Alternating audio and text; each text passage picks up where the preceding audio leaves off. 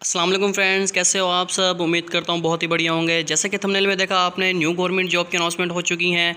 तो जो लोग अप्लाई करना चाहते हैं तो वीडियो को लास्ट तक ज़रूर देखिएगा। अगर आप लोगों ने चैनल को पहले से सब्सक्राइब नहीं किया हो तो चैनल को सब्सक्राइब कर दें। साथ लगे बेल आइकन को भी लाजमी प्रेस कर दें, ताकि पाकिस्तान में जैसे कोई न्यू जॉब की अनाउंसमेंट हो तो सबसे पहले नोटिफिकेशन आपको मिल सके। तो चलिए यार वीडियो को स्टार्ट करते हैं, बिना टाइम वेस्ट किए। पाकिस्तान मिलिट्री एकेडमी पीएम में 2022 में जॉब की अनाउंसमेंट कर दी गई। है कंप्लीट डिटेल इस वीडियो की आपको जॉब सिटी डॉट पी की वेबसाइट पर देखने के लिए मिल जाएगी, जिसका लिंक भी आपको डिस्क्रिप्शन में मिल जाएगा। यहाँ से आप थोड़ा सा नीचे स्क्रॉल डाउन करेंगे तो आपको कंप्लीट इन्फॉर्मेशन इस जॉब के हवाले से मिल जाएगी। जॉब टाइप है गवर्नमेंट जॉब है, तालीम आपको इंटरमीडिएट एफ़ सी और आई सी एस के लोग अप्लाई कर सकते हैं। तेईस मई दो हज़ार बाईस जो जॉब की लास्ट डेट है।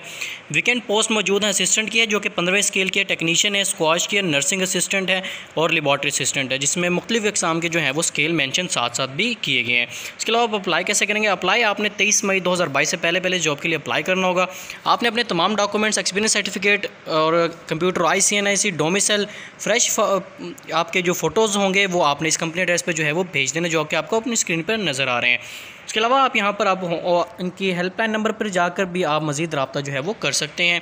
इसके अलावा आपको यहाँ पर एडवर्टाइजमेंट जो है वो भी देखने के लिए मिल जाएगा, जिसमें असिस्टेंट जो है असिस्टेंट की जॉब आपको बताई गई है साथ साथ आपको कोटा भी मेंशन किया गया और आपको क्वालिफिकेशन भी बताई गई है। ग्रेजुएट होना चाहिए इसके लिए और टाइपिंग स्पीड जो है वो आपकी थर्टी वर्ड्स पर मिनट होना चाहिए। उसके अलावा टेक्नीशियन में आपको इलेक्ट्रिकल डिप्लोमा जो है डी ए ई वाले यानी कि इलेक्ट्रिकल डिप्लोमा वाले जो हैं वो इसमें अप्लाई कर सकते हैं। कम से कम आपका तीन साल का तजर्बा होना ज़रूरी है। अगर तजर्बा नहीं भी है तो भी आप लोग इसमें अप्लाई कर सकते हैं। उसके अलावा आपको स्क्वाश की और नर्सिंग असिस्टेंट और लेबॉर्ट्री असिस्टेंट की यहाँ पर वीकेंड पोस्ट जो है वो देखने के लिए मिल जाएगी। यहाँ पर अठारह साल से तीस साल के लोग जो हैं वो टर्म एंड कंडीशन में बताए गए कि अप्लाई कर सकते हैं।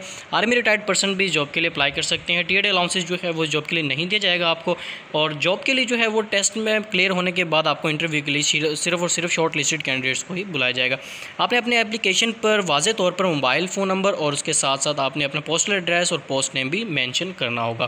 तो ये थी आज की वीडियो। उम्मीद है वीडियो पसंद आई होगी। वीडियो पसंद आई है तो वीडियो को लाइक कर दीजिए, सब्सक्राइब कर दीजिए।